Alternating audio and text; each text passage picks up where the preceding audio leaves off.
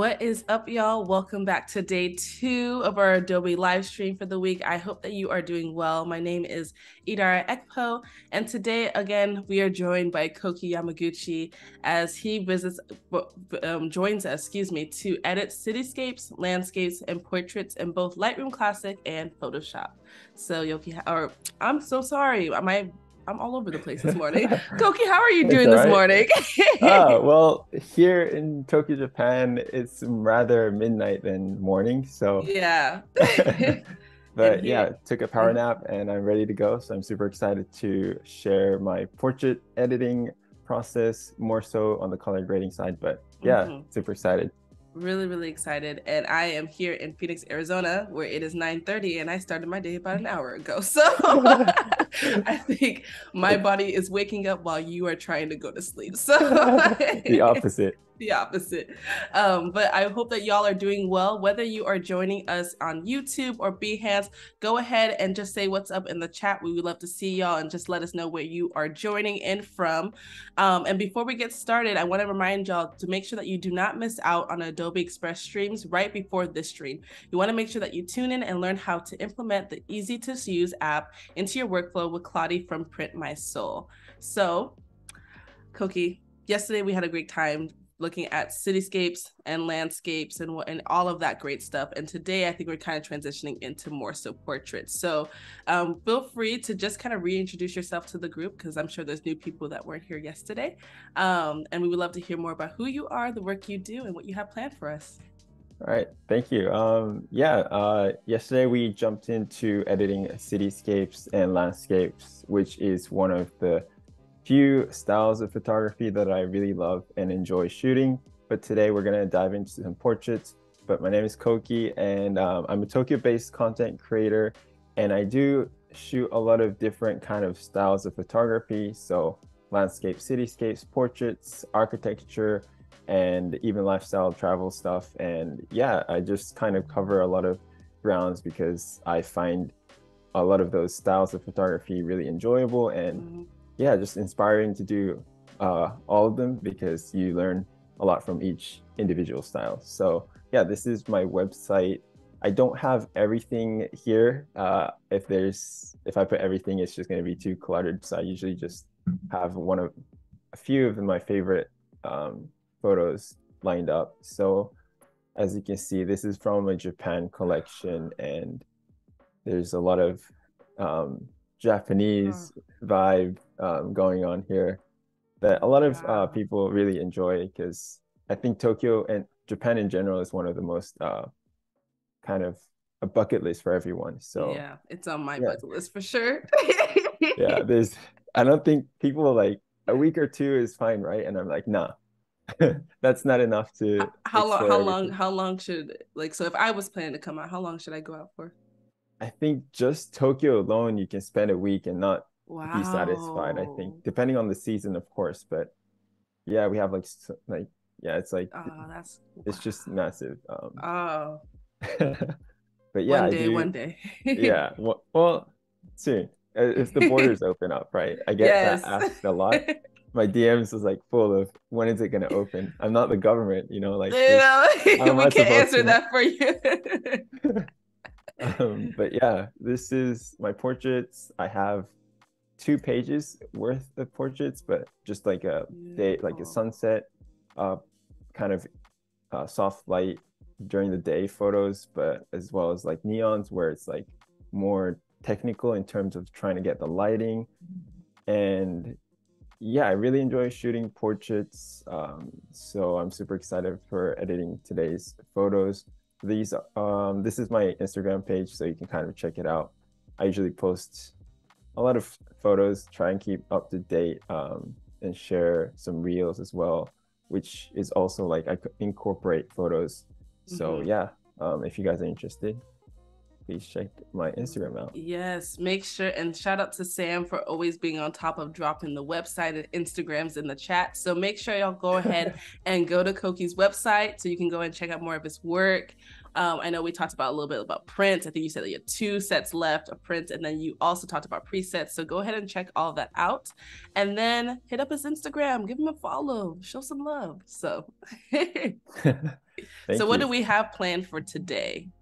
All right, so jumping in straight into Lightroom, we're gonna, of course, edit some portraits, and I do want to kind of start off by editing a like a sunset, like a light, mm-hmm. like during the day photo, and try and show you guys my process of skin retouching a little bit, not too in depth, because mm-hmm. I don't really go too in depth with skin retouching just because the models or, and people that I work with they do have like really nice skin I don't need mm-hmm. to really mess with so I'm I think I'm just fortunate enough to be in that situation I feel yeah. like but um yeah let's I think we can just start let's, by let's do it. Should I'm we just start by edit like doing the skin retouching or yeah let's like... let, let's start wherever you want to start. If you are moving towards the skin retouching first, let's start there. And, I'm just and, afraid and... like we're gonna run out of time if I like I don't know. Okay. I think you, um, do you got it. You got it. Okay. So um, one question that I usually get asked a lot is how do I select photos? And it's just whatever you feel like like you like, then mm-hmm. you just uh, send it off to the quick collection, which is here. So you just keep going like this. It's really like if you stay on a single photo for too long, mm-hmm. you just start overthinking things. Yeah. so you just go through like this and um yeah, like oh okay, you, you like if you like these two sets, just put those two in the quick mm-hmm. collection and you can do that with like multiple photos, but then um, it will show up all in here. Then you mm-hmm. kind of um, can choose b- between like the few that you selected. So yeah, that's how I go about selecting a photo. I like um, that you said that you don't spend too much time looking at a photo because I've definitely done that where you like you are going through and you stare at a photo and you like it at first and then you find the one wrong thing and you're like ah not that one and, and your selection process goes from being like you know just really just being should be like you know a couple minutes or 10 minutes or so to being like for me sometimes 30 minutes an hour or something wow no like, it's bad. really? Oh especially if like... I shoot larger projects i'm like analyzing each photo and i have to tell myself like come on you Udara pick something. Yeah i mean a larger project yeah i, I, I can mm-hmm. totally feel that but um this was just actually this was like shot so quick we are just oh there's like a flower let's just oh, shoot wow. it there and then it took maybe five minutes. We shot there for five minutes and left, and oh, it turned out pretty nice. So yeah, they're beautiful. Um, yeah, I think once you've selected a photo and to start editing, I usually like to just head over to Photoshop and just do a bit of skin retouching and then put it back into Lightroom so that mm-hmm. anything, you know, I don't have to worry about editing the skin after. Um, yeah. Yeah. So I think I'll quickly go over how I'll go about editing the skin. I hope it's the oh. it's not gonna take forever to load. and if right. y'all have any questions for Kohki throughout the live, whether you are on YouTube or Behance, make sure that you just go ahead and drop your questions in the chat so that way we can ask them throughout the live. Yeah, amazing. Um, also do you want to ask if you guys ever use any of my techniques or like tips, I guess, from the mm. previous live, you can tag me in uh, Instagram and then I'll check it out. Yep, yep. So, and if you missed yeah. that live, y'all know that you can catch the recap. You can go back and watch the whole thing, that's so true. you can use those tips. So that's really dope there because we talked a lot about um, a lot of editing tips. The way you love blue, it's very yeah. apparent. So make sure y'all go ahead and catch that recap so that way you can utilize those tips in your photos. Yep. Okay. Um, we kind of want to first duplicate the photo uh, and then zoom right in. And then what I usually like to do is instead of using the healing brush or a spot uh, healing brush, all these, like you can, mm-hmm. I think you can get away with these. Like you can just go yeah. like that and you kind of get rid of that part. But not necessarily always, it's not as accurate as using the patch tool because mm. what the patch tool essentially does is you get a section of the skin and it kind of like you can accurately sample it with a Mm-hmm. specific area of the skin. So I know it's like tedious, but I usually like doing that. And um, yeah, I'll just like do this throughout the photo. I don't think I'm gonna just I'm gonna skip like the whole entire thing because I just wanted to explain that. Mm-hmm. um, this is gonna be more of a color grading tip, so I think we can just skip that part. But in general, that's what I do. We'll come back into um, Photoshop in the later on, but for now, I just wanted to quickly show you guys how I do the skin retouching. Um, it's nothing crazy, but it works. It's effective. okay. Um, once we have the photos saved and back into Lightroom, it should load. Okay. All right. So I think you just first, if you want to add a preset, you can, and then go from here and kind of work your way around it. But I'll just go without using a preset for this, just so that everyone can kind of understand that you don't always have to use a Mhm. preset to get any good results. So Mhm.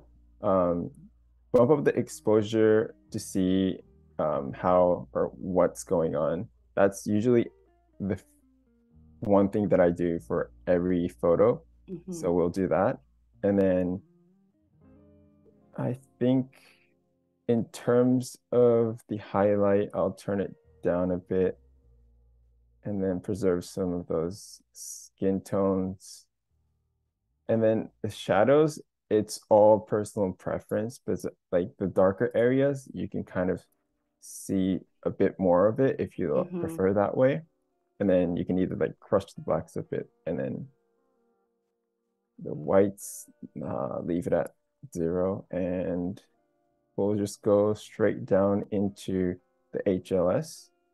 And these two colors, the greens and yellows, are the two primary colors that Mhm. are apparent in the frames. So we really want to take in count and like really focus on perfecting those colors. So in terms of the green, I really love this hue of the green. It's Mhm. not so much like the, these kind of like saturated greens that Yeah. sometimes occurs in some situations, but um, I do still want to kill a bit of the green and mute it. So in, in order to mute it, you go down with the luminance Mhm. and as well as the saturation. That's you can even go further to really kill the greens, but Mhm. we didn't want to leave a bit of that. So that is what I would do for the greens. And then for the yellows, I think it's too much. So we can Mhm. turn down the saturation and maybe bring up the luminance of it. And that already kind of fixes this distracting yellow of a color uh, saturation of the yellow. Yeah, so yeah, yeah, yeah. maybe a bit more of it. Yeah. Okay. So one thing that um, I realized with portraits is that when you, if you do prefer to add grain and you add grain, you can kind of get away with not doing a perfect job of skin retouching. Mm, And Yeah. that's that, that's a good point. yeah but this only works okay this is a 55 millimeter uh 50 millimeter my bad uh lens so it's it's a bit of a classic portrait portrait lens but Mhm. if you shoot 35 or a bit you know far away the further you shoot you can get away with that you can get Mhm. away with like adding grains and not having to do much of skin Skin retouching retouching, yep. And we do have a question. so, Um, yeah So this is from YouTube, and they said, "Hey Kohki, yesterday you ta- you told us about understanding light. To those who are starting, what do you mean by that?" Oh, okay. Um, thank you for watching yesterday's live. Um, by understanding light, so I, as as humans, we don't see what we see in front of us. We see light, therefore we see the object. Mm-hmm. and without light we don't see the object so that means that's how important light is Mm-hmm. so light can light can really kind of shape um so in terms of like portraits say if a, if the lighting is coming from the left and it's a bit not top down or uh, down up lighting and it's softer so it's diffused. So if you also have like a cloud a thin cloud formation covering the sun even during the midday it kind of diffuses the light so it makes it softer. Mm-hmm. so you don't get harsh like super harsh. I wish i had a portrait where it's like super harsh but it's it looks so terrible i don't want to show it but um it, it will really it's really hard to explain um but you'll see how like light can really change hmm how certain things or anything looks i never actually trying to explain what la- like no, I lighting- I agree though. Like when you uh, like you said, like the way we see things is from light, and I think that understanding light or playing around with light will give you different perspectives too. So whether you like the diffused look, like you like if I go out and shoot here in Phoenix, Arizona, and it is hot and sunny. And I don't want a harsh light look, and the sun is beating down everybody's face. I'm probably not gonna want to shoot during that time, or I'm gonna look for you know areas where I can kind of, or I'll either bring like a diffuser if I can diffuse the light, or shoot in areas where there's shadow, where um, there's like a large shadow, so I can have more even lighting. Um, If you Mm. want to play around with lighting, I like what you did here, where like you kind of placed it around the plants and so you have like the the light that's coming in obviously but then the shadow that's forming because of the plant that's there and so you can play around with light with that way um but i do Mm, think it's yeah. important to understand like what direction light is coming from and how it's hitting your subject because that's what it's going to look like you know you, Yeah. might, you want to know like okay am i going for this look if you're going for the harsh light look then maybe you do want your subject to face hard Well, direct sunlight good luck with that but- I know. But if you don't, if you want more of a diffused look, maybe shoot at different times of the day or bring certain items that will help you diffuse the light and um or look for shadows and things of that nature. That way you can kind of get the look that you're going for. Mm. Yeah, I think it's yeah, I think it's always good to not really I don't think there's many portrait photographers that shoot midday Mhm. without like any shadows or like a reflector or a- like a Mhm. diffuser, but um yeah, it's sometimes for- it's a sometimes it's a look, you know, but it's it's very specific. it is, yeah. I mean uh, uh, I can't I can't really argue with that, but but um for instance, if I shot this, this is sometimes in the afternoon around sunset, but if I Mhm. shot this during the day, first of all, the shadow won't be the same, but it'll be harsher. So if I go ahead and do this, you can kind of see the shadows like darker, Mhm. but then because of the light being strong, her skin's gonna be blown out. So the gap Yeah. between the shadows and her skin tone is gonna be so dramatic to the point that it's just it's hard to make it look aesthetic. It's hard Mhm. to yeah, it's just too harsh. Of uh, the lighting's just too harsh, so it wouldn't Mhm. work. Um, yeah, so like shooting this photo only worked because of the time of the day, how the light is hitting. Mhm. Um, but yeah, I think that's the best I can do for explaining how light is. No, I think that makes sense. I mean, that's a good example. Like you said, like this photo probably wouldn't have worked as well if it was shot with harsh or harsher lighting. But um, I know someone put in the comment, Fairy said, you know, harsh light looks wonderful to me sometimes. And I agree. Like there are times where it's appropriate and like Hmm. and it, if it's like a creative choice it looks good um, but if it's not the look that you're going for then you want to understand light so that way you can get whatever it is that you're wanting to see in your photo Yeah, I think that's um, absolutely true, and it's just a creative choice. I feel like, Mhm. but it's uh, It it's definitely is. safer. It's safer then. It's safer to shoot in a soft light. Yeah Um, there's less things that go wrong. Um, yeah, so I think in terms of portraits, I usually don't do too much in Photoshop, but I come into Lightroom and even similar to before yesterday's live, I'll actually use a lot of these brush tools too. So Mhm. kind of bring out the eyes, and so I'll kind of just go up when up with exposure, kind of make it sharp with the clarity and texture paint over her eyes, and it gives that pop. Mm-hmm. And it's nothing crazy, but um, as long as you don't go overboard, it really adds a lot to the uh, eyes. So that is what I usually do. And then um, going pretty quick here, I would add another mask, the radial, and then just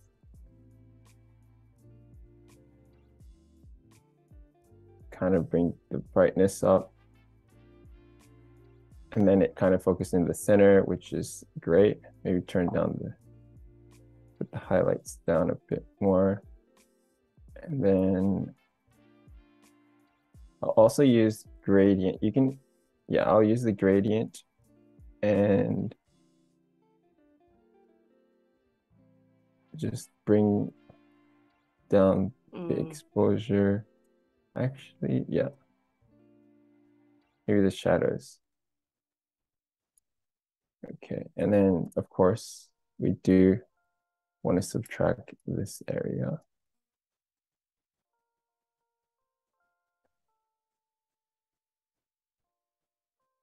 And then we do the same for the top. It's actually similar in terms, what I do for portraits is similar to cityscapes and landscapes, Yeah, just I'm focusing. seeing I'm seeing that with um the way you use the brush tool and um your gradients are very similar to how we were editing yesterday. Yeah, I think it's it's just all the same. Like you just use the same but Mhm. technique, but like you keep in mind that it's a different um like photo. So hmm um yeah, even just doing that kind of there's like it's a very m- minor edit. I think it's a more neutral kind of edit where y- if you don't want like an overdone look, you this would be perfect. I think it's already aesthetic enough hmm with these colors, um, complementary color like the greens and the yellows. So that was I, I did I really I usually spend a bit more time, but um, yeah, for, for instance, um, when you look at this photo right now, you can also see that there's this blue, Yeah. and you do want to get rid of stuff like that, which is distracting. So Mhm. in terms of this photo, I believe there's no blue in any other aspect, like any other part of the frame. So you can Mhm. kind of just be lazy and do this. No, and then just mute it out. Yeah, and then it's, I mean, that's way better than before. So Mhm. We went from this to this, which is less distracting. Mhm. Um, you can use Photoshop and kind of, I think it's better if it's a bit, mm, maybe that's better. Yeah, there So, go. yeah, um, simple things like that really help. I would also like go into depth and add brush tools instead of doing the um, linear gradient and then kind of darken the parts that are not these uh, the flowers. So Mm. the further gaps. So her the side of the frame here with the sweater and like these gaps, like just very subtle, like subtle edits, but it further like pulls the focus into Mhm. the middle. settle, So yep, exactly. yeah, um, similar concept, but that is how I pull focus and edit a photo. I I know like if you get the photo from the get-go, like pretty like decently or like how you want it to be, um, would look like, you can kind of just mess with the saturation luminance, Mhm. edit a bit here, and you go from like this to this, and you're done pretty much. Um, so I think you don't always need to use a preset, but Agreed. It does help. Um, yeah, so that is how I'll go about editing like a sunset um, portraits. Beautiful, Yeah. Beautiful. And then real quick, because I know you said earlier that you probably spent like uh five minutes taking these photos. Like what was the like were you guys just walking and you saw the flowers and you know saw the bush and area and you're like, oh let's take photos there? Or was it was it like an intentional thing or was it just kind of like, oh us, you know, just in light of the moment? Um, we actually were we shot at a nearby location from here. It's within the Yoyogi Park, which is one of the biggest parks in Tokyo. But we shot the cherry blossom because it was in season, and then we walked out. We were like, the sun was going. It got dark there, so we left. And then my eyesight's not great, so I look over, and it's like, it's like a tree with like yellow, yellow things. It looked like banana, like bananas. Mm. So I was like mm. curious, and I went close to it, and I saw, I discovered it's like a flower. So it was like, this is pretty sick. So, yeah. oh, I love, I love because sometimes you. I was just curious because sometimes you just you get you know really beautiful portraits out of just curiosity. yeah, I mean, you, you just have to try sometimes. Yeah. Um, yeah. Love it, love it, love it. If y'all have any questions uh, for Kohki, please be sure to drop them in the chat. I do see it that the conversation on lighting did continue, um, but I do agree with Harry. Um, they had mentioned that it really just depends on the look that you're going for when it, whether you use harsh or soft lighting there might be certain situations where one might be better than the other but i really think it's just kind of objective to whoever is shooting and and what it is you're trying to get um but yes if yeah. you have any questions and whether you're on youtube or behance be for be free excuse me to drop them in the chat so that way we can continue the conversation all right what do we have next okay so this is probably more interesting for everyone because it's going to be working with lights and a lot of elements um, when I shoot. And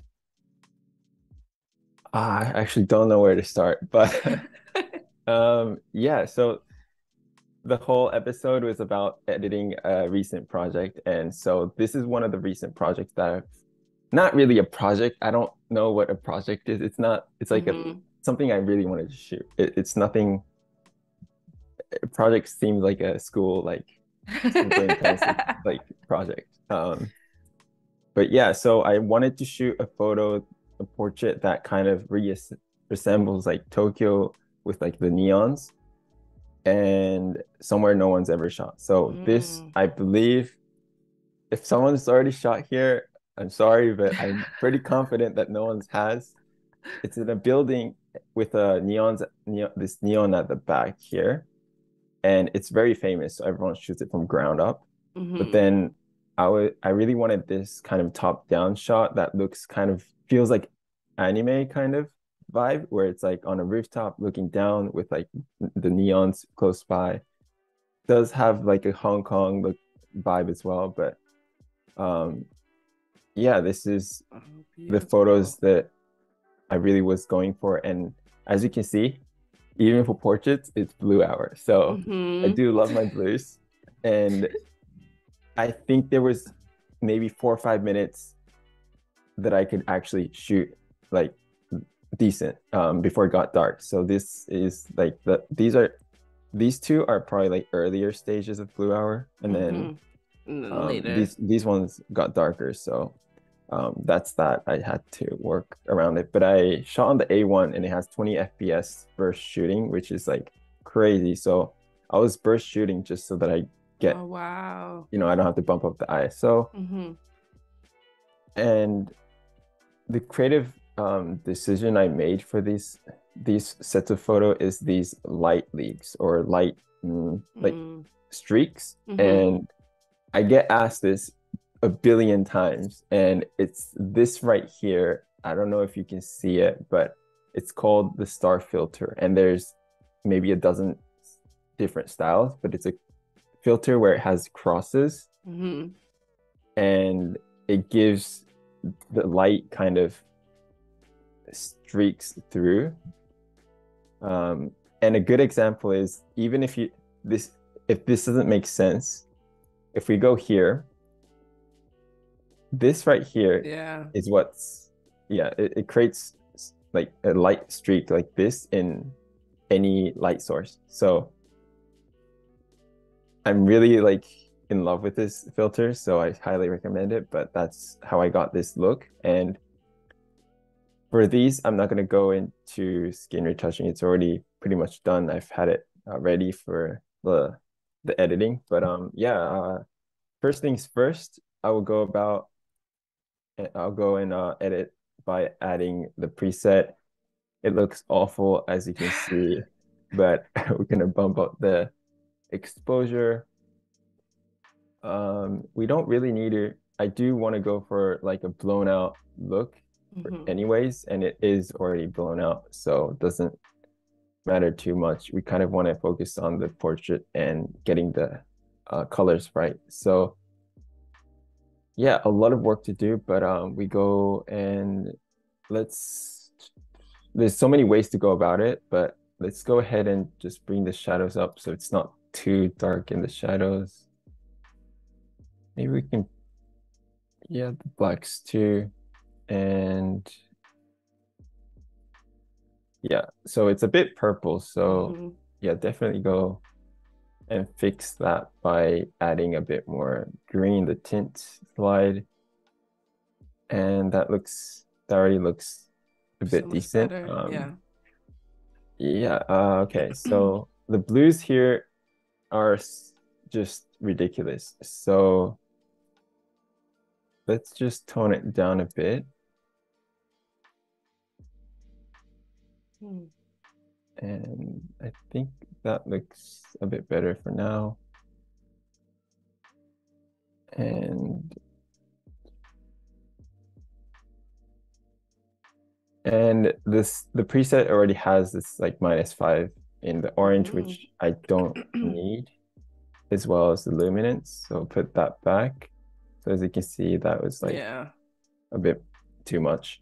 Um, but I do like a bit of luminance, uh, the glow, the I think it's nice with the hair here. Mm -hmm. So um, we can kind of tweak the yellows too.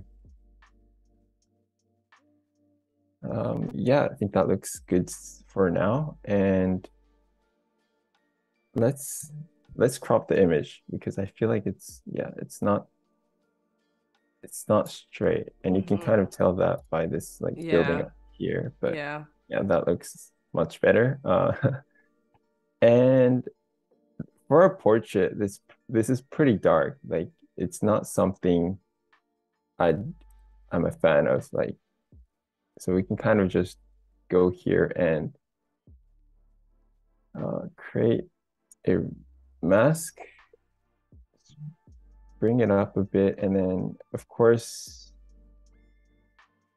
hmm, let's see. I think we can kind of put this slider. Um, so this is the split toning tool, which adds colors to the highlights mm -hmm. and sh uh, shadows. And I usually love adding blues. That's pretty aggressive, but like the blues, but there's a, it's shot in the blue hours, so we kind of don't necessarily need it as much. What we can also do is if we we can play around with like the shadows and highlights and give a totally different look. If we go into the greens, like so, it looks way different. So that could work too, but yeah, we'll leave it at zero for now. And then because it is warmer now, I do want to kind of try and fix it.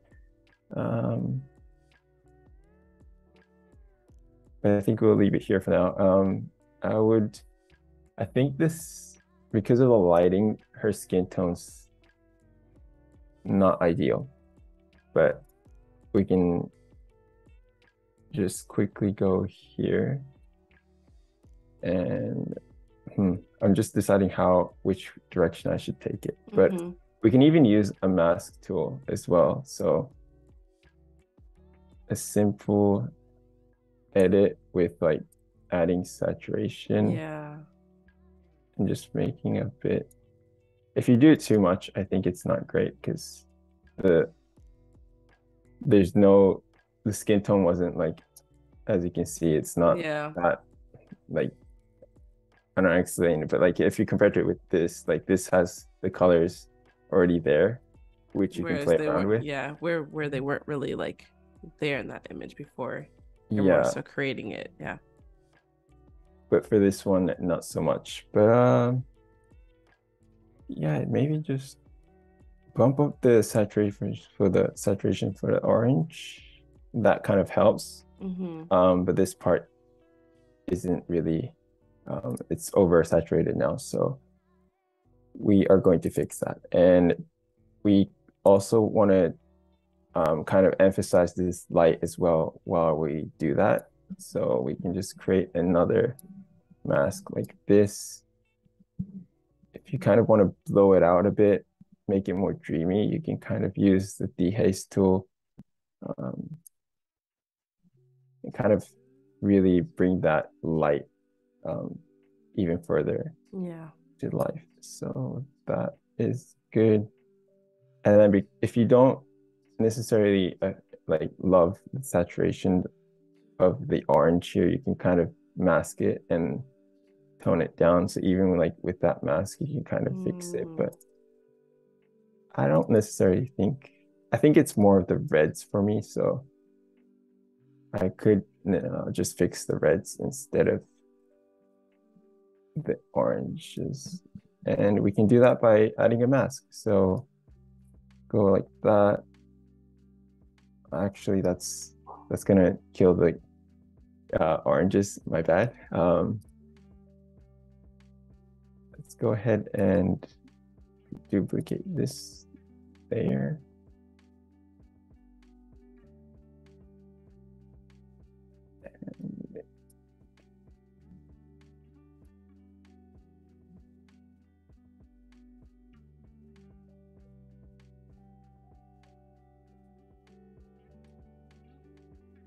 Mm, so you're just kind of targeting the specific the the red light streaks and just bringing down the saturation of yeah. individually. Yeah. Okay. Um, I think that looks a bit better. But I also do want to kind of uh, add more glow to the overall like light back here, you can do that just by like adding masks. And um, I think for this, we do want to get rid of this blue. It's mm. it's a bit distracting, and the color down here is a bit distracting. So we can do this later in Photoshop, but then for now we can just quickly add these masks here to bring the focus into the middle for now.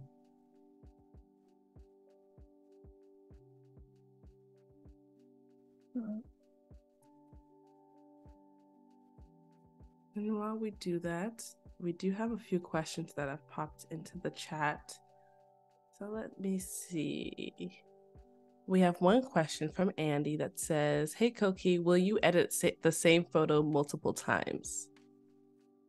Um, that's actually a great question. Um, I usually don't, but sometimes when I'm um, feeling creative or inspired, I would edit uh, the same photos different uh, different ways and kind of mm. see if anything else looks better. But I already know in terms of like my edits, I know what would what I enjoy, like what I mm. like actually. So like I'll just keep it consistent. But mm. um, yeah, usually just multiple times, but be trying to perfect the edit yeah. that I want to achieve. If that's yeah, that's the right answer, I think. Yeah, no, I feel that. I feel that. And then the next question is, um, who is your favorite photographers, or who are your favorite photographers? Oh, that's a tricky question. Um, I don't know. I feel like it always changes yeah. for me um, it always changes, but uh, I remember when I first started, I think I was following like the Australian guys like Demas, Rusli, uh, Ichiban, aka Ben, and like who else? Uh, Ivan Won from uh, mm. US. I think he's in New York. He's based in New York, but yeah, I follow those people. So but I it just keeps changing. I feel like you grow and you kind of like your vision kind of changes mm-hmm. too and yeah so it always changes but those those people are the ones that i used to uh, follow uh, i follow from the uh, when i first started yeah I feel that. I feel that. But yeah, I agree. Kind of mine mine always changes. I really don't think I can answer who my favorite photographer is right now off head because there's probably too many and the list is just all over the place. So yeah. um and another question is, ooh, do you ever use Vaseline or lotion on a UV on a UV filter for some effects in your photo? UV filter? Mm-hmm. Is that the one that is that the one that's like uh, like the protector I think so. I think that's the protector, and then I don't. I guess like, and you add Vaseline and lotion to see if it does anything. Oh, okay. So peep, it's a trend now where people have Vas- Vaseline and then mm-hmm. it glows, right? Mm-hmm. I don't do that because I have a black mist filter and the star, star filter. filter. Okay, gotcha, it's, gotcha. That's yeah, true. The, I yeah. feel like those hacks are usually utilized um, more so when people don't have, you know, a star filter or certain filters that will get them that look. Yeah. And I know it's pricey. I think a start this start filter cost me like 175 US and I had to like back order it. Mm-hmm. And like so it might be cheaper to just if you don't have a star filter, it just might be quick. I know. it's not the same. You never know. I used to I've done that before where I've added like um where I didn't have even going back, even not even having a filter at all, I would use like um you know like the plastic it's not foil but like the plastic um saran wrap. Yeah, I would use that and I would put like lotion or more so Vaseline on it and I would just like put it around my lens.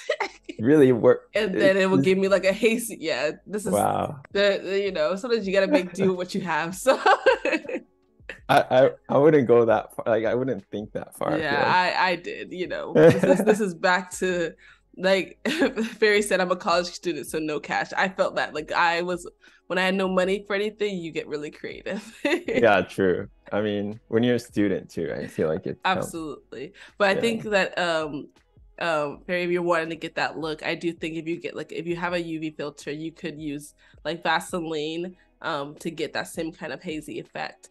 Um, mm-hmm. another question, y'all are killing it in the chat. Um, how do you price um your job in the beginning, and how was the journey? Oh wow, that's a big one. I get asked this so many times. Um, first of all, I'm gonna lay it out there. I never talk about um anything money related to anyone, but and for the sake of education, I feel like I sometimes do like but um yeah like when I first started I didn't plan to start photography as a freelancer. Like I came back mm-hmm. from un- the University of Sydney flew back to Tokyo. I was like I'm gonna I want to work at Apple as a retailer because I really love their product and I believe in what they do.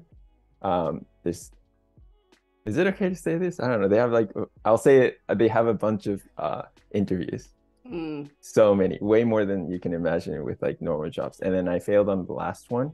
Mm-hmm. So I mm-hmm. didn't make it. But then I got an email that day, that night from the North Face. And they were like, we need a um, photographer. And mm. also, as the photographer, like, because I was doing urban exploration and that is their new line. Mm-hmm. And they wanted a photographer that also kind of can like be the look for their new uh, oh. line. So that was the first job, and then from there, I, I was like, okay, I can probably do this. Mm-hmm. And then I kept going, but then it's not every day you get jobs like that. So I used to do photos, photo service for tourists. So when tourists comes to Tokyo, they always want photos, yeah. no matter if it's family, um, their loved ones, like any any like occasion like even by themselves they sometimes ask me and then i used to do a full day which is like usually depending on the people but five to eight hours for five hundred dollars mm. and that i've done for two maybe three years but by the end of by that time i raised my rates to like 1000 mm-hmm. and then made it so it's six six hours a day. Mm-hmm. So that is how I kind of started.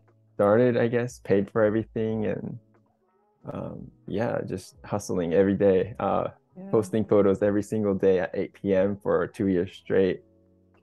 Done that, and then I guess it just happened. Um, but it's also important to know that there's no way I would have been like where I am if I was if it weren't for all my friends. So Yeah. connection is really important. So while you do that, you want to make a lot of connections. Yeah, no, I agree. Connection and community is really important. When I started, I started in college. And to be honest, the reason why I started is because I was making $8.50 with my little campus job, working probably like 10 hours a week. Oh no. you know, 10 to 12. So barely I would get like a check with a hundred, you know, every week you're getting $100 and then you got taxes and then you got all these other things. So I was making no money. And I like to live a, not a lavish lifestyle, but I like to take care of myself. So I mean, if you can, yeah. if you course. can. And so I was like, I need a way um to make some extra money. And I remember seeing, I think I just I had a friend who was older than me that wanted to take, you know, get her senior pictures done. And I was like, oh, people do grad photos on campus and they make money for it. So I went into photography originally for the wrong reasons. I was just trying to make Oh. up some extra cash, but then in doing it, found my love for photography. And I think a lot of it is when you look at your journey of like especially with pricing i think in the beginning i was just trying to get as much work as i could so my prices were horrific i mean i was doing things for like you know $50 $100 and it was like a lot extensive editing extensive hour time. Um but i think everyone kind of goes through that time where you probably weren't charging that much but you were getting experience you were getting the photos you were hustling a little bit. And then when you have when you know more you can do better. So Mm, um i think that's that's kind of like what my journey kind of looked like was you know i very beginning it was really rough but you know i wouldn't be here if it wasn't for the opportunities that i went after and just trying new things having my friends and community that would encourage me talking to them too because sometimes if you don't know something maybe somebody else that you have in your community that's also a photographer they can educate you on so i think it's really important to have that community too so yeah, I think that's super important. Um, even I think even with anything, right? Like even sports, just Mhm. have people that elevate you. Exactly. Elevate you to that next level. All right. I think that's all of our questions so far. Oh no, Alright. one more question Oh, before okay. we continue. I don't want to. I didn't want to miss these ones from earlier. Um, so somebody asked, um, you use the star. Wait, you use star filter with diffusion. What is the shop of the star filter things? What the uh, where is it from? Yeah, where is it from? Yeah, where did you Oh. purchase the star the star filter? So the star filter is called is from Tiffen. So in my humble opinion, I think they are more on the pricier side, but more accurate. So Mm, what I for me when I first started, I made a mistake of cheaping out on filters. And they have usually a weird tint sometimes, especially for BND filters. mhm. Um, so I always go for the best ones, and it's the 82 millimeter. I always use all 82 and then use step up rings so I don't have to buy multiple ones. Mm, And this is called the Digital HT Star 4 PT 2 millimeter. well, there you go. Uh, yeah, probably like one of the best things you can buy for your lens. Beautiful. awesome. Thank you so much, Kohki, for that. And if y'all have any other questions, drop them in the chat. The chat is bumping. I love to see it. So if you have questions on YouTube or Behance, drop them and we'll ask them throughout the rest of our stream. All right. So now we Amazing. can go back Yeah. to what we were doing.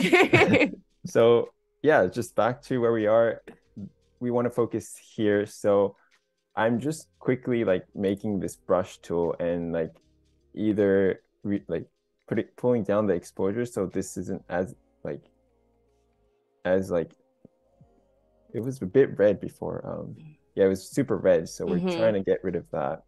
And then if we go up here and do the same for this because we want to more it is nighttime and we want to emphasize neon so we do want to darken it more and just pull the focus into the center and yeah i think we can easily do that by just brushing it and as simple as I I went more into detail when I first when I edited, but like it just to show you guys. Mm-hmm. Um, yeah, I'm just doing it really quick. But then when you do when you do this, it also like changes the saturation luminance of the colors um, apparent in this part of the frame. So it is more blue than uh, okay, wait, hold on. I need to this is how I do it. Yeah. So this is Mm. more like a lighter blue, and then just because we darkened it, it changes. So you gotta kind of remember that. And if you don't like it, you can also edit within that mask and just kind of tweak the saturation like that. And then you can that's dramatic, but as you can see, it goes it's less Mhm. Blue, or like if you want to bring the blues up, you can do that. And that's the quickest way. Yeah. Um, but I think I like that, so Yeah, we'll too. leave it at that. Um, yeah, it's uh, so far we went from here to here. I would probably get rid of this and, and everything, but uh, I think we can even when I'm feeling a bit like lazy, I do tend to just do these in Lightroom because it's sometimes like not that difficult. But let's see if it works. Are you just using a brush tool to try to bring down the Yeah. saturation of all that blue? Yeah. So if all right, very lazy, but that that is one way to do it. But okay, let's do it the proper way. um, and then I can show how um, you can actually edit separately, like this, like the. Uh, wait, hold on. I think I've made a mistake here. I did it bring in the original image and not. Uh, yeah, I think I just brought the original. There we There go. we go.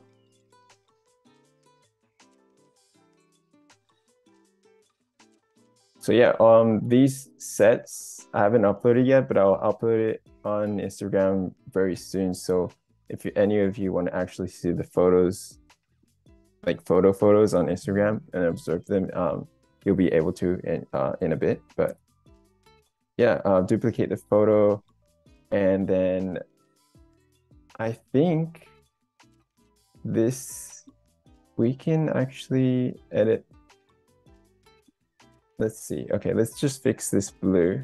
And to do so, I usually, the easiest way, or the only way I know, is to kind of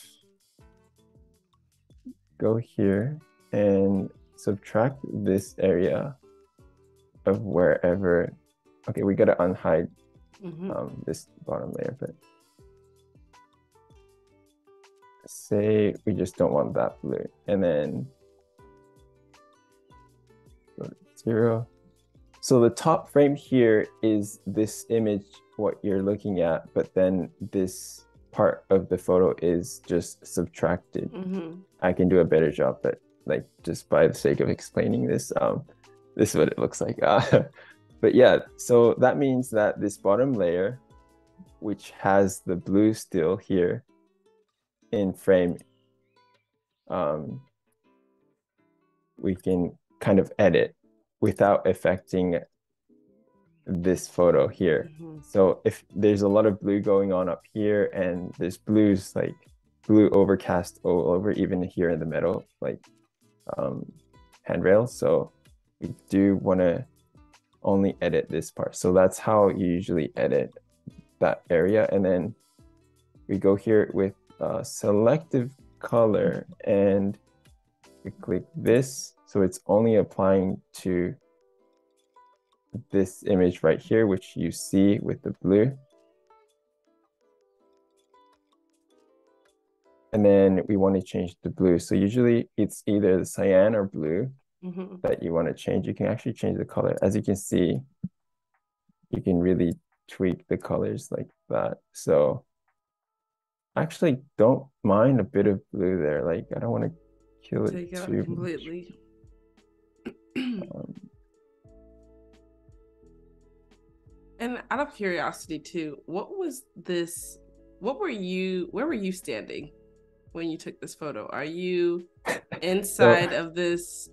If it, I'm not sure if it's a, a building, apartment, or something, and shooting out the window while she's over there on the um, yeah, it's a weird location. I guess I didn't think about that. But, um, I was wondering. I was like, what? Is, what was this location?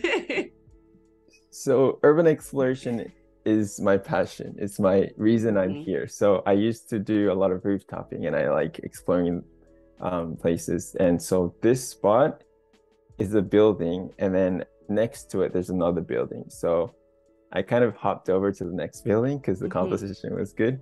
And then I shot from that building. But then you, you say next building, but it's literally like, like right, right in front of you hmm one step like out so it's not a big deal but yeah it just it made sense because the neons are here and if i was shooting from this angle i wouldn't get the neons behind her which Mm. wouldn't create this glow um like the backlit kind of vibe that i really was going for so yeah that's how i shot it All right, dope, dope. I was just curious. I was like, oh, I wonder how he shot these.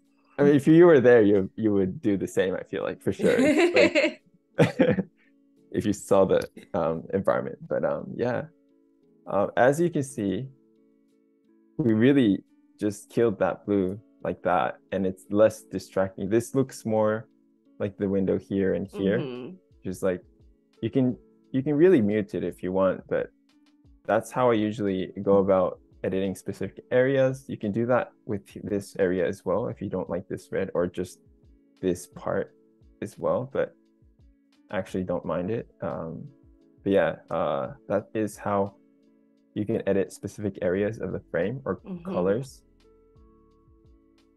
So yeah, let's go ahead and save this. And back into Lightroom we go.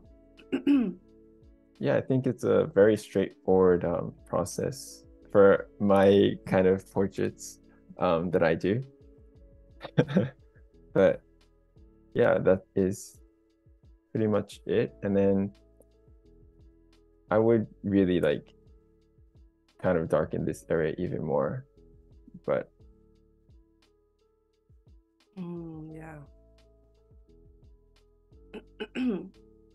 Helps to bring your focus back to the main subject. yeah, um, I guess that looks good. And then there's not much greens. Okay. Uh, I think in general, like that was that's pretty much how I'll go about editing this one. But this is probably my favorite photo just because of the glow. Mm-hmm. But I do want to edit like an actual portrait portrait. So we could edit one of these, but I do want to go ahead and edit this one because it's more like it's easier to understand and I Mhm. can also show different kind of like um how I can color grade it differently to make it dif- Mhm. look different even though if it's like the same kind of image. So again after I think this photo it looks a bit it doesn't usually look this low of a contrast but because of the filter I think it gives that um not a log file but it just looks more the Mm-hmm. contrast or like low contrast um yeah it's really nice because of the the star filter effect. And okay let's it looks very awful right now but i'm gonna quickly fix this.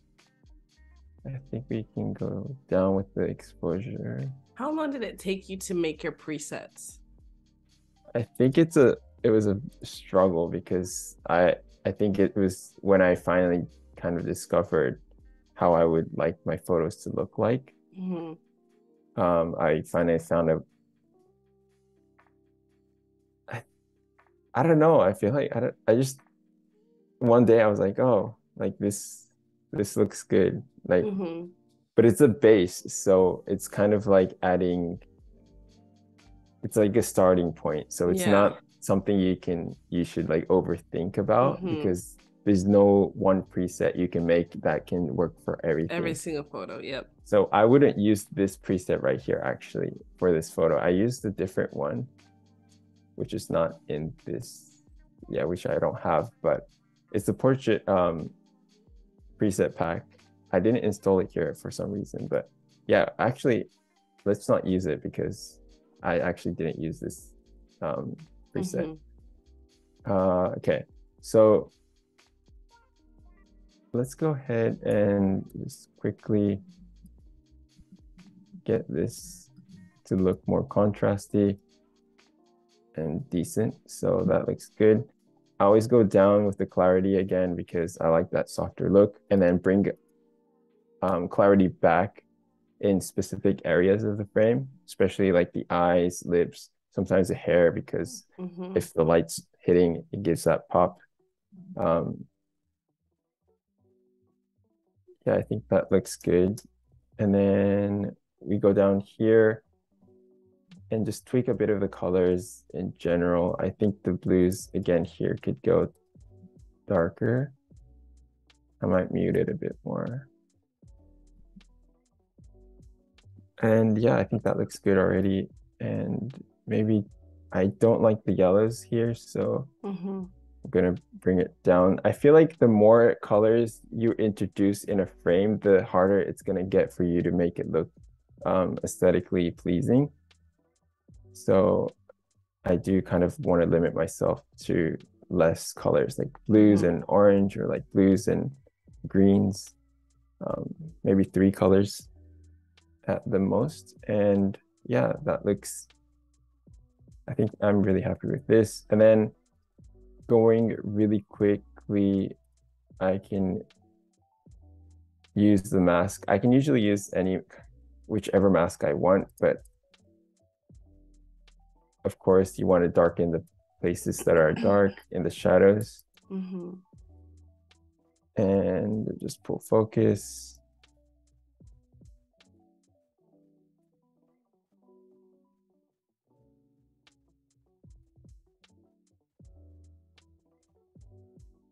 I do really like how the fa- the light is really kind of like creating a spotlight on her face. It brings you like a lot of your attention straight to her eyes, which is really nice. Yeah, thank you. Um, I think it's. I, I don't think you can.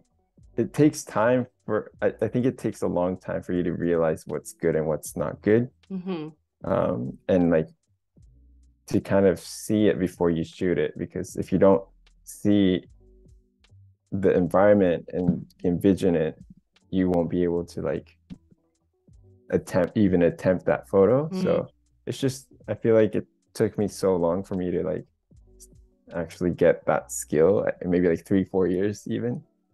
Um, even now I, i'm like struggling because it's you never know. Sometimes like weird locations look good.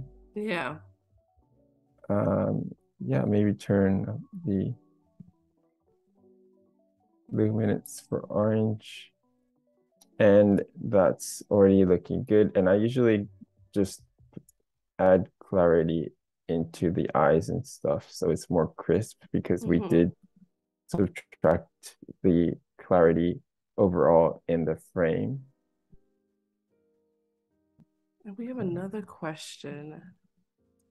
Oh, this one is um somebody asked, does Kohki parkour? I feel like it's an essential skill for urban exploration. Uh, I mean, I never done. I can backflip in a trampoline, and that's about it. um, I skate though. I love skateboarding. Um, I just split my my shins the other day, Ah, but um, I still love it. I think it's.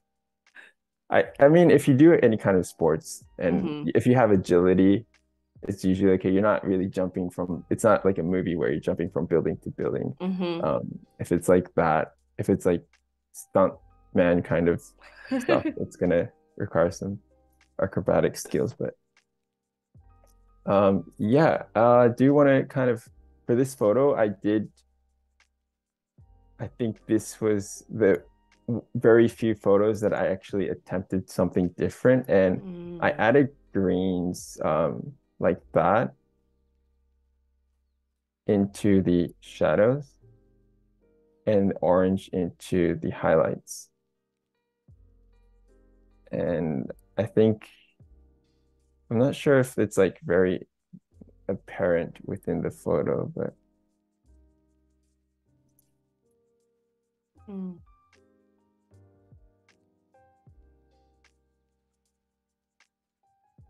What made you want to go and try to do something differently with this photo in general instead of going with your usual blues? Um, it was just kind of getting tiring to see the same stuff over and over. Like um like this photo here is so simple like i didn't do too much mm-hmm. but then it's always like this when i shoot during the like the daytime sunset and sunrise so mm-hmm. this time i was like you know it's like i know it's not i'm not pushing too much but try and do something different um, mm-hmm. for the mm-hmm. sake of you know being getting out of comf- like where you're comfortable with and trying new things but yeah i think green adding greens is might be something I want to try uh, challenge myself to do more. It's just different. Um, a lot of cinematic like movie films they add a yeah. lot of yeah greens, and I think mm-hmm. I got inspired by that. But um, yeah, I think I think in general, it's like that would be maybe I can even like cool it down a bit. Mm-hmm. But I think in general that is how I go about uh, editing this too. But yeah, it's super simple. Um, going back to like these photos here, think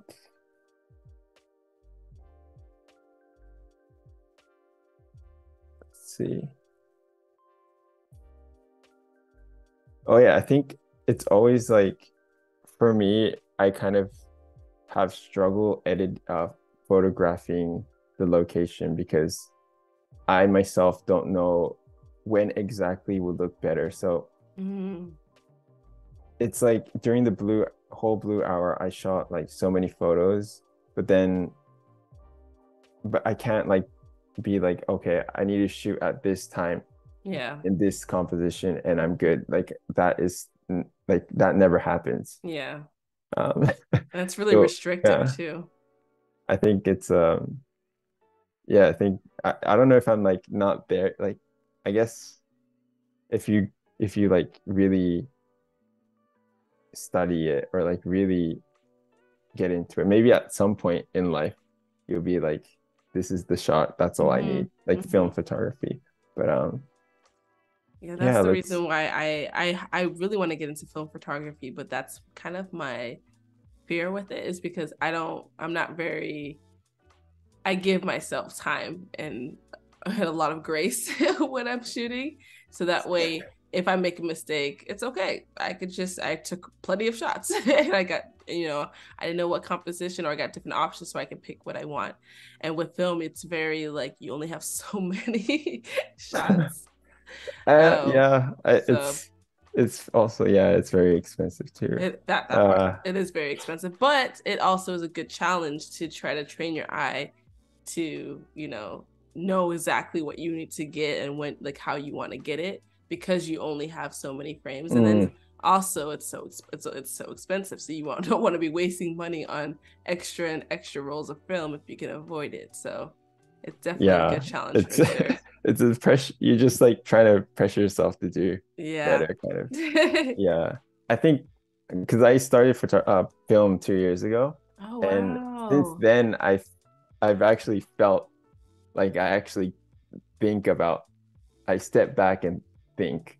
Mm. Whereas like I use Sony and I go on burst mode and I just shoot everything and every like everything I can ever think of mm-hmm. in that mm-hmm. moment. I don't step back and think. So and I end up with like 100 gigabytes of photo and it's just like all maybe I get one really good one, but yeah, it's not accurate. So film photography does really help. Yeah. For sure.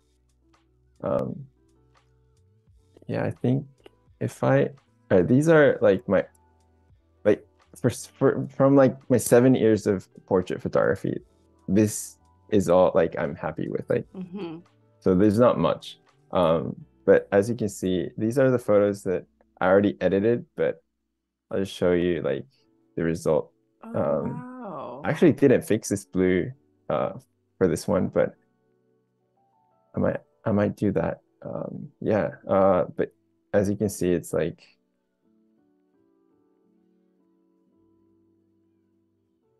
those are beautiful. Oh, that's beautiful. so, so that photo you cropped in. this one I just cropped in, I think. Uh, no, maybe it's a Oh, different. different I actually don't remember at all. Um, but yeah, it's uh, I think, yeah, I think I shot it differently. I'm not too sure, but yeah, surely the crop won't Yeah. be that good. Yeah. Mm-mm. Um, And I think her hand her hand placement was um, it's different. Yeah. different. Yeah. Yeah. Um, I also do make a portrait episode on YouTube. Hmm. And there, I think it's actually one of the most uh, popular episodes because I take uh, you guys or the audience throughout the whole day and just bring you guys the along the journey. Mhm. And so, if anyone wants to see my actual shooting process and like all Oh. that, you can check that out. I think I that didn't know is you had a YouTube channel too. Wait, hold on. We gotta drop the link to that YouTube uh, because I mean, it's on my uh, Instagram bio. So, but like, Ah, okay, perfect. So Yeah, y'all know where you can find it. Head over to his Instagram, go to his bio, you'll be able to find his YouTube channel.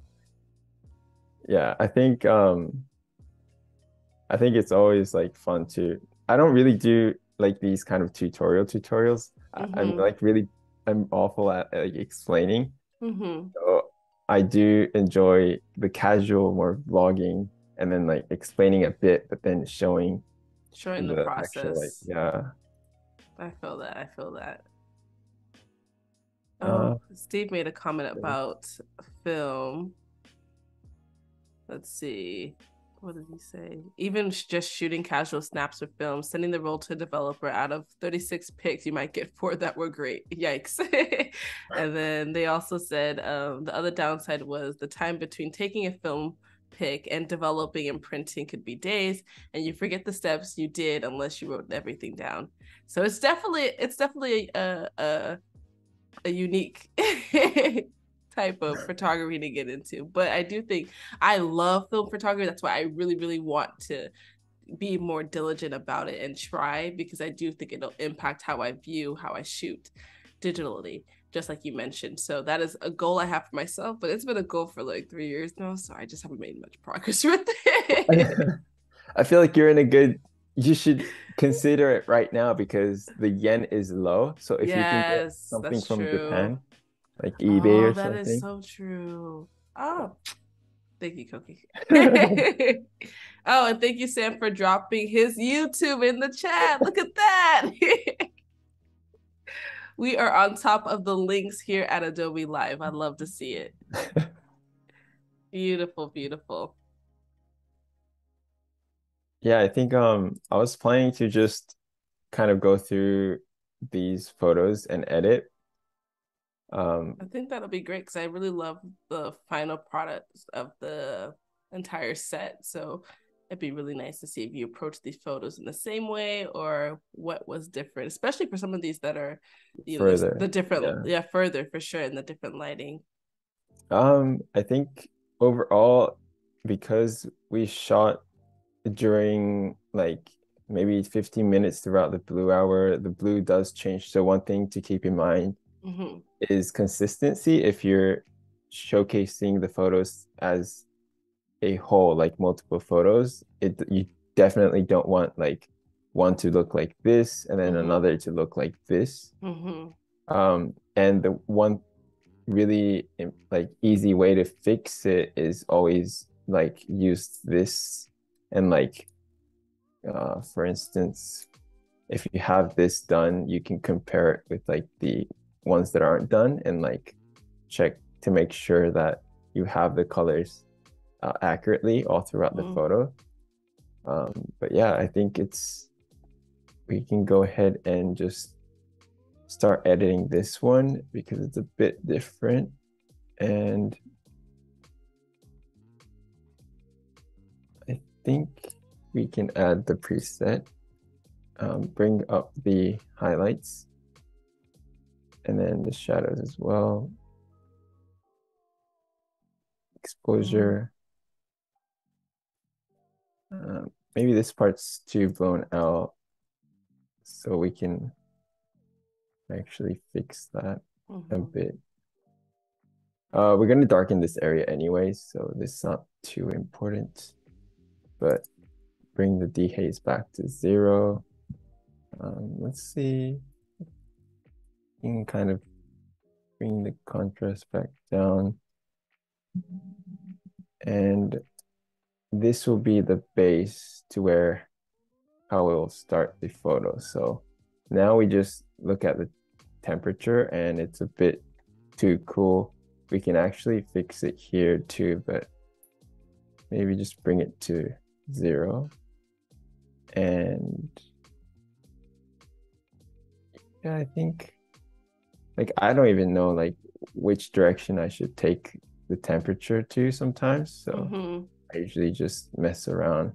But I think we do want to emphasize the warmth from here. Yeah. So I usually, yeah, keep that in mind. So even though I do like a cooler tone, I'll go up with the temperature. Mm-hmm. And I think there's not much tint or magenta, but think we can go a tad down. I think it's very minor, but mm-hmm. it does help, I think, because we did change the temperature. And yeah, I think in terms of the balance of the photo, it looks, it, I'm really happy with. So now I think we can go ahead and just, let's see. I think if we do add these uh, masks, we can actually go down here and use vignette as well mm-hmm. a bit if you do want to go really like if you're going to add it all around throughout the frame mm-hmm. you can just do that and just speed up the process a bit um, and then the midpoint you do want to drag it down so it's more um, mellow in terms of the effect mm-hmm. and then that already is a bit darker so from there, we can add a brush.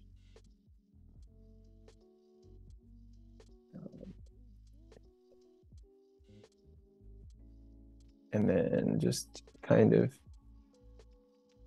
go dark here. Maybe the shadows. And then we are going to paint this part.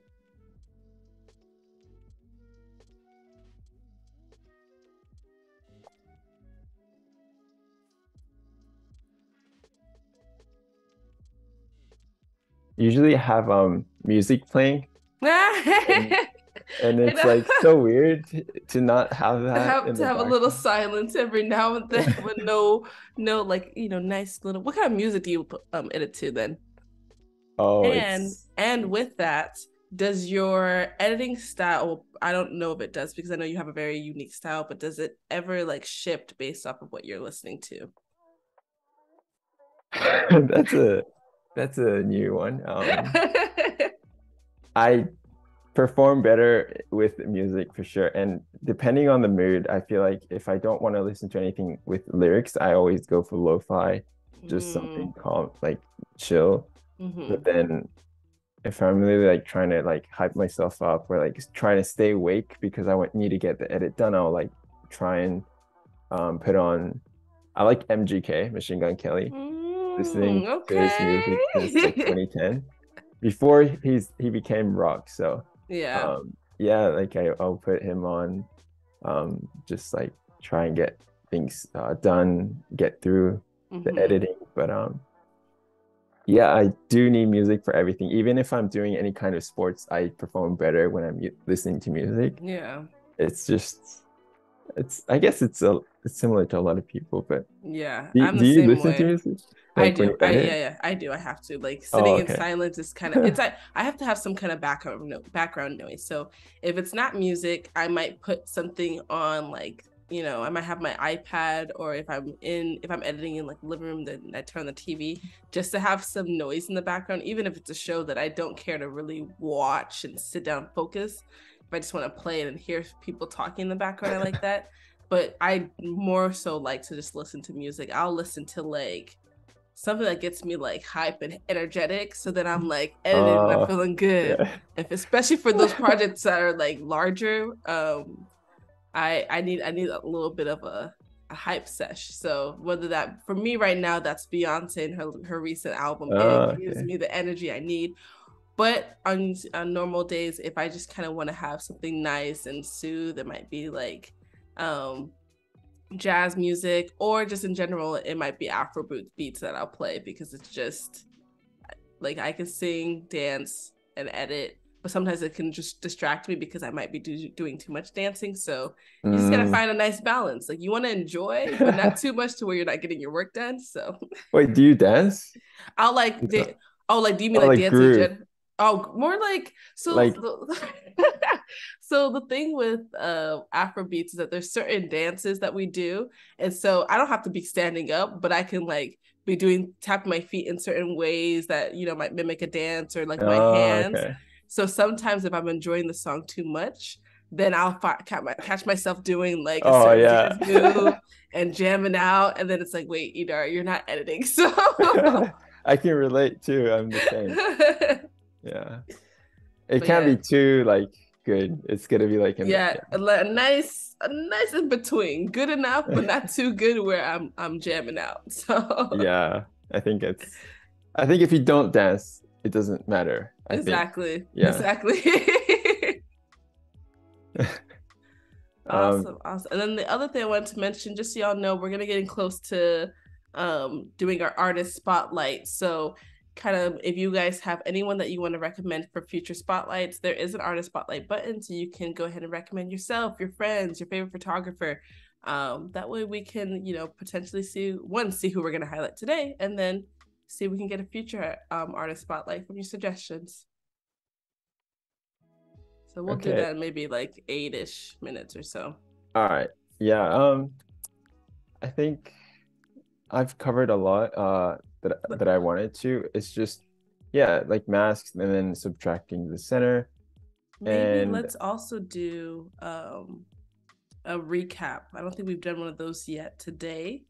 Um, oh yeah, um, we have not. So if anyone has joined and you're probably wondering um, what's going on, I'm sure you've caught on by now. But we'll go ahead and just give y'all a quick recap of of the work that Kohki has done thus far.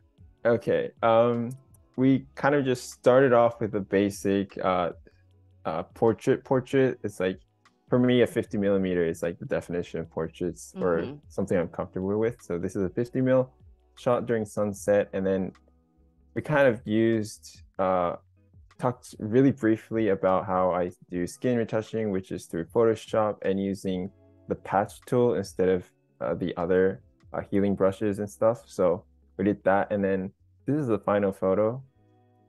Uh, and then if I can bring this, it is very slow. Okay, so we did use yesterday's technique with uh, brush tool and all the gradient filters and then darken these areas. So it kind of separates from the darker areas and the brighter areas mm-hmm. to kind of make it pop. And then of course we uh, edited um, or like brighten the uh, portrait portrait like the center area. So it kind of brings out the subject. And yeah we talked about how to kind of have less colors going on. So less colors mm-hmm. usually equals um, less problems. I feel like so. Yeah, just tweak the greens and the yellows. It was it was originally like very saturated. So mm-hmm. um, yeah, we did that, and then we also talked about a filter called star filter. So this is my favorite and go-to filter for portraits because even if you don't shoot in harsh lighting where it's effective, such as this photo here, this light streak is all created from this uh, star filter, which is called mm. um, the Star Star 4FT 2 millimeter by Tiffen. And yeah, it's just a really unique look that not a lot of people yet use, I feel like. So it's a, yeah, I, I'm really like loving this. But yeah, regardless of if you don't use this during like a harsh lighting condition, uh, with portraits, you see the light kind of mm-hmm. reflecting off of the subject's eyes and it creates this star. And if you zoom out all the way, it's not very apparent, but it is in the details. It's yeah. really nice. Um, so yeah, we talked about the filter and then we went into editing this photo. So this was using the star filter again, like this backlit neon sign kind of shooting um, backlit. So we, we kind of like took this lighting to our advantage while it was mm-hmm. blue hour, but not too dark. So this was like at the end of blue hour, it was getting harder to shoot. And of mm-hmm. course, this was pitch black, but mm-hmm. we still get like nice silhouettes. But um, in terms of portraits, it's nice to be in the location early, get the earlier blue hour, shoot throughout. And yeah, that's what we talked about having the uh, shooting portraits in blue hour. And I think that is pretty much it. We did use, again, the same um, gradient technique to kind of darken the parts that aren't so uh, important. And mm-hmm. yeah, pulling the focus in the center. Now, you do a lot of work um, from what we've covered the past two days, obviously, with you know the portraits landscapes cityscapes etc um, and i know you mentioned that you like you like having that variety but is there something that you feel like you're more drawn to out of all your work do you prefer portraits do you prefer the cityscapes or landscapes photos uh it's it's really um that's a very difficult question because yeah. cityscapes and landscapes allow me to travel mm. and i love traveling mm. um not just because of the beautiful destinations, but because we you get to travel with friends or meet new people. But then portraits are also like super fun because I can shoot in my city and mm-hmm. if you're working with someone that you really like get along with, you have so much fun and I realize not all models have like a creative um, vision, but when you find people that mm-hmm. do have that creative vision where it's like,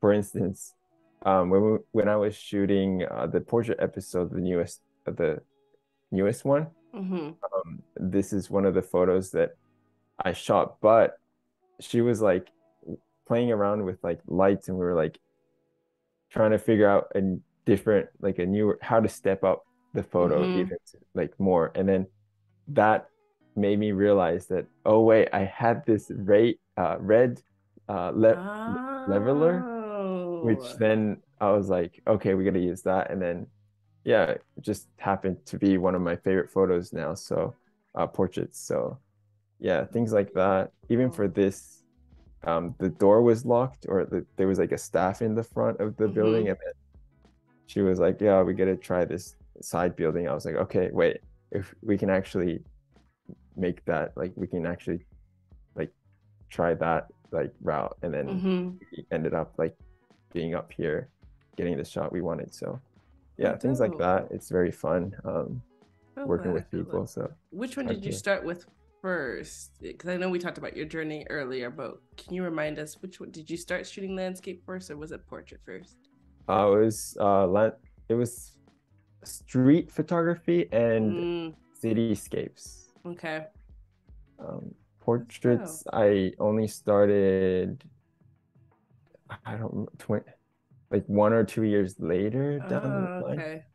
But yeah, oh, I don't. I, I, didn't have any like proper like model people. So I shot my friends and then like work my way out. Mm-hmm. No, I love that because yeah. I I did the same thing, and even today, whenever I um a lot of my portfolio currently, like if you go and look at people are like, oh, like who is this model? I'm like, oh, that's just my one of my girlfriends. you know, sometimes it's just cool to shoot with your friends. you have fun when you um can do that and like it's a good like just like friend bonding thing and there's no pressure because they're they're just happy to shoot with you yeah, so you get. I mean, they got to be comfortable. A lot of my yes. friends are comfortable. So yeah, that's yeah. true. That's a big. Part. You're lucky though. Yeah. No, I have a lot of yeah. friends that are oh. they're like, oh, I'm ready. I like you, darn. You need to. You need a model. You need a model. so Awesome, y'all. So we are at the top of the hour, and I think this is a good spot for us to do our artist spotlight. So, as y'all know, every time we do our live streams on the second day, we love to highlight a specific artist. And so I'm interested to see who we have today. So, um, Kohki, can you go ahead and pull up our artist spotlight and we can kind of spend some time looking at their work, discussing, and just talking about who they are? Yeah. Um, it's really cool to be able to introduce my friend Demas Rusli uh, to you guys. He's from Sydney, Australia, as you can see right here. He's a photographer slash designer, but he is an architecture student. As you can see, he loves. Oh, he's yep. very, very like technical to when it comes to photography, which I really respect and learn from. So when I have my lines like crooked, I'm like stressing out, and I I feel like I've learned that from him, and which is good. But yeah, he does like like he does like landscapes, cityscapes. Does like quite a bit of um structural like architecture stuff because he is from that background. Mm-hmm. And I followed him when I first started photography in Australia when he was maybe like 15k followers and he was only uploading architecture stuff and mm-hmm crazy to see how long, like how far. Uh, Can you click on that photo with the basketball court in the water? Oh yeah. This huh? just. So I think this is for a, yeah like a, and like the partnership. The partnership. Yeah. Huh. this oh, makes more sense. Okay, yeah, that makes more sense. Yeah. Okay. Because the first one I said, wait like how do you get there? How, how did this happen? Is this like just really good photoshop or? I mean he, you can see him stand there but yeah, yeah. um oh love. I do want to like the the reason why i chose uh demas to present is because i really felt like we collaborate well. For mm. instance like i think this is the one but this is like a location in Kyoto district, uh, Kyoto uh, down south, and um, we shot this spot together. But I was like, "There's this photo is being shot um, so many times. Mm. It's already done." And then, so I was like, "I do want to actually shoot this at night because I've never seen it, and mm. it would be so mm. cool if we can ask those people to turn the lights on." Ah.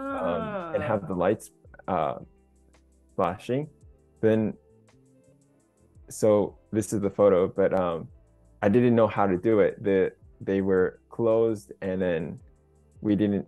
I didn't know how to achieve this. Mm-hmm. But then Demas was like, "I can show you how you can create that in Photoshop." Oh, so, so that was done in Photoshop. Yeah, like this was done in Photoshop, and like he taught me how to do this and since we had a stick light, we put the uh, stick light in the mouth, so it's like we didn't have to do all this in Photoshop. But the mm-hmm. eyes is all uh, Photoshop, and I learned a lot as well as like we both contributed so much because without like him, mm-hmm. uh, this photo wouldn't exist. So yeah, it's really cool to have a friend like him where you know you can be both like super creative and try and like figure out a way to bring something to life, something mm-hmm. new. But yeah, he does a lot of crazy Photoshop oh stuff. Gosh, this is absolutely incredible. Can you go actually scroll back up? There was one photo that I really seemed so unreal the very, very beginning of his page, of his Instagram. Where is it? Top here. The one with the balloons. This is so the second in the middle. This one. Oh, this is how he does it. Yeah, he shows. Oh wow. So he Ah, just then- flips it, yeah, oh, that's dope. and changes the uh the color, the hue. That's dope. And then how did he do the next one? The second the second row middle photo. This one. Yeah, that is Oh, this is um actually this is the uh oh, is this the like a is- summit. okay. It's Oh, actually, wait, no, I know where this is. Is this in New York? yeah. Okay, I know where this is. When I I visited New York for the first time, I did go to this summit, and Oh. um, it's really dope. But I was like, "Whoa, I wonder where this is at." And nah, he's incredible. The balloon? Yeah. There's not this many. There's not this many exactly. That's No. why I was like, "Huh, is this the summit?" Because there's definitely not that many balloons in that place. yeah, I mean, there's no way they can. I mean, you can see it from the reflection here a bit. Mhm. There's no way that it's No, yeah. the joys of Photoshop. Love it. Like his website, he sells prints too, and you can see, um, yeah, this is like the split of like the Golden Gate Bridge. Mhm. He does like this crazy Dubai and outer space like fantasy kind of uh photos. These plane series where he photoshops. He actually shoots the act like the planes too, but then he photoshops these different locations that he's visited. Wow. So it's not like he just downloads some stock image and just Mhm. makes something out of it. He actually shoots it, which is like really cool, I think. So yeah, that's that's his style. Um yeah, I think that's that's about it. I Ah, think that's dope. That's dope. So make sure you guys go ahead and give. Is it how do you pronounce his name? Demos. Demas. Give him a Yeah. follow on Instagram. Go ahead and check out his website. And then also free to look at his prints too. Those are incredible. I might need a print in my home. So make sure y'all go ahead and check out his prints as well. And if you have um, somebody that you want to recommend for a future artist spotlight, like I said before, there is a nice little button right above the chat box that says artist spotlight where you can click on it and recommend an artist to for us you know to spotlight and check out. Awesome. So we still have about I'm bad with time, but maybe like 15-ish minutes left in our live. Oh, 15, 20-ish minutes left. So is there anything that you want to kind of finish out with Kohki for the remainder of the live? Um I did kind of cover quite a uh everything. Quite a um bit, yeah. I we didn't really finish the edits for these series, but Maybe let's do that. um yeah i think even if i don't finish these uh i think it's okay because um it's going to be uploaded soon. Mhm. um it I haven't published it yet so i'm super excited to see how it'll do but um yeah uh like this photo we just really going back to it masks uh used a lot of these masks around it. So it's like we didn't have that before. This corner as well as these bottoms and then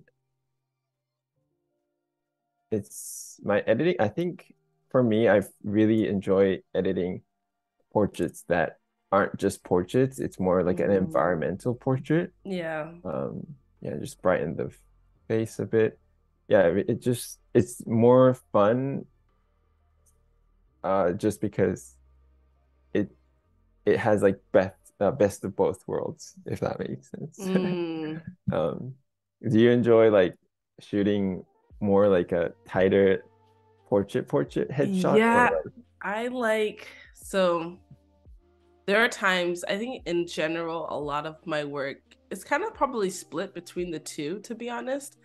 I do really love a good portrait like close up Mhm. in your face like get capturing your the detail of like your features etc. I have a really big obsession with people and um I really think like our faces tell like they kind of like tell a story of like who we are and like certain features that we have. So I do really like to highlight that in my work. Um, but then I also do agree that sometimes like portraits are great and they're cool, but I also really love when I'm able to take a subject and place them in a cool environment and see how I can kind of make them one with whatever that environment is. So Um, I think if I had to pick, I can't. I don't know if I can pick which one I prefer. Really? Um, I don't. Yeah, I don't think so. Oh, so like because I love 50. 50 i'll say 50 50 because i love portraits like a lot but then i also love like finding a cool location and maybe if there's some um like a really cool like building or architecture or something that i can bring into the photo and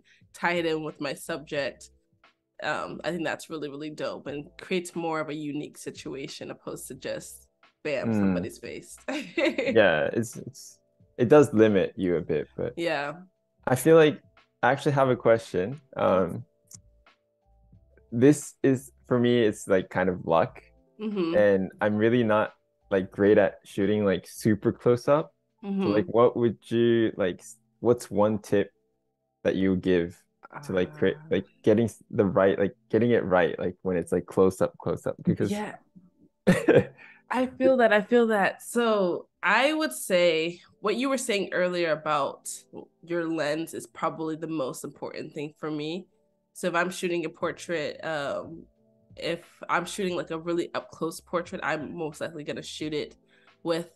Well, actually, to be honest, I used to have a 50 that I used often, and now I use a the Canon 28 to 70 because I Oh, like okay. um the depth like you know I can shoot it I never shoot at 28 but I can shoot at all I have the option I can, it's one one one lens that's really really universal. Mm, um but I usually just kind of picking the right focal point um which is usually around that 50 millimeters anyway.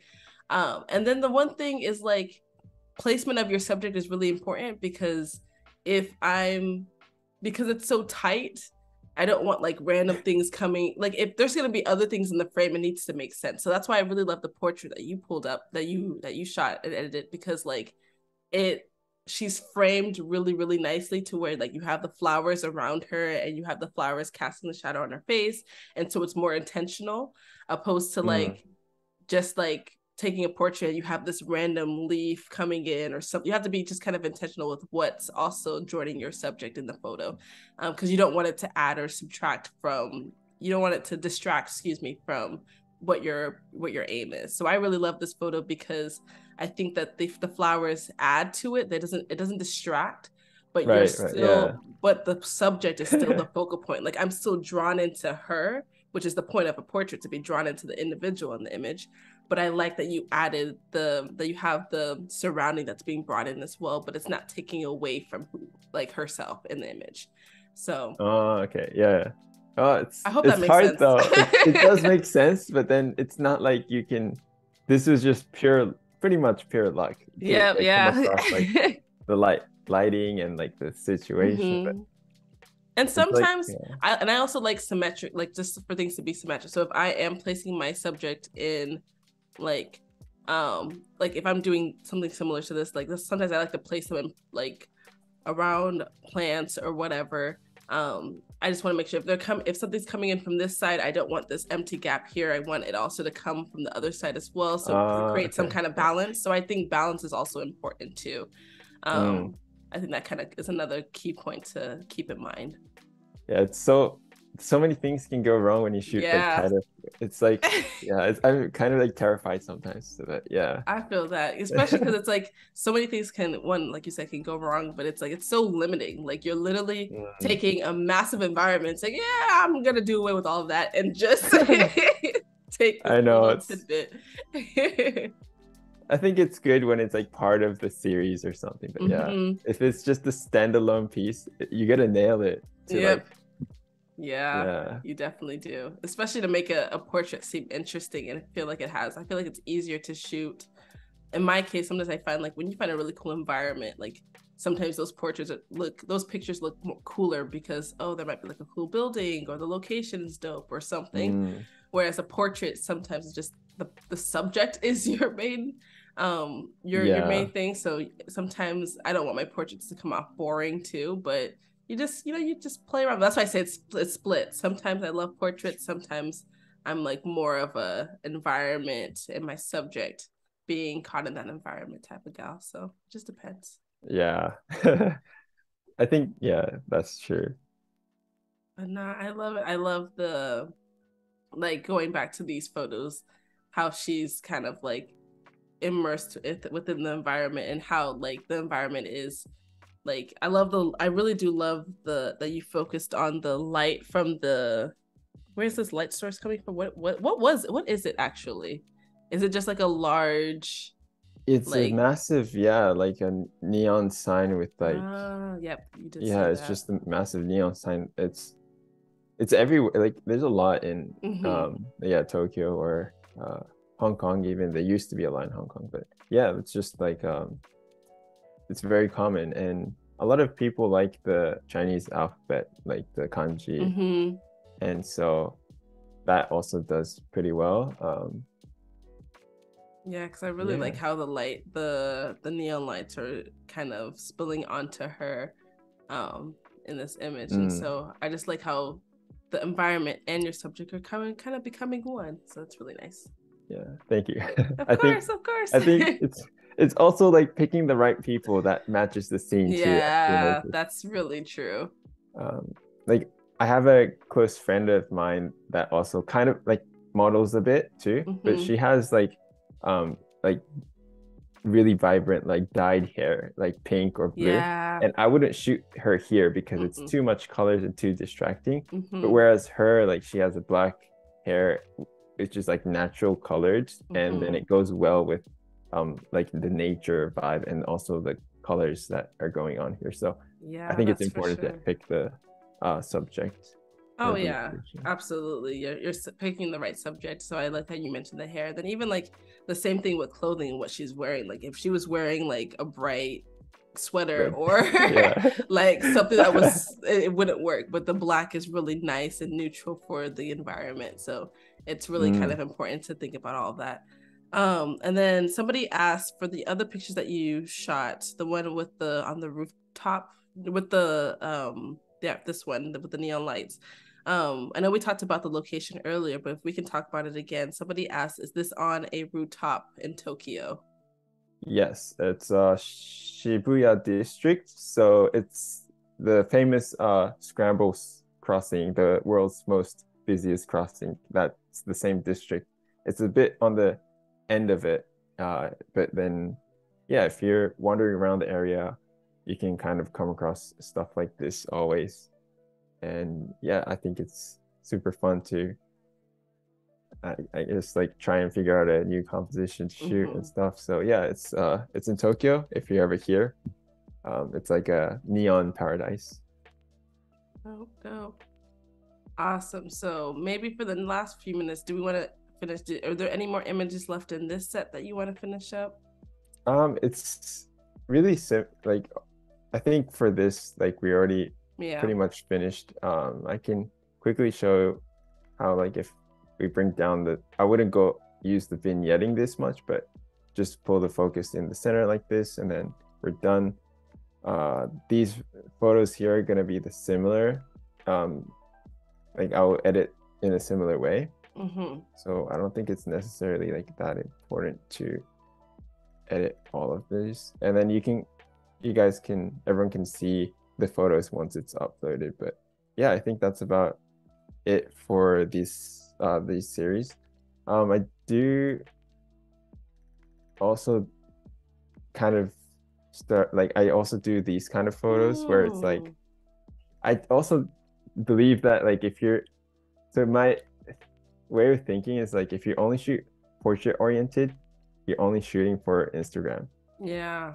But oh, then if wow. you actually love shooting, you'll also like consider shooting landscape when it's necessary. So that's also important to keep in mind. But then these this is from a quote from her, the movie, and I like adding mm. quotes and like I think it really is a fun way of using portraits mm-hmm. um, to tell like more of a story and words are like a great way of doing so and um yeah i think just a split three it's always good to have like out of focus like just the vibe yeah um, going on as well and here you can see these like particles or like flares oh yeah and can.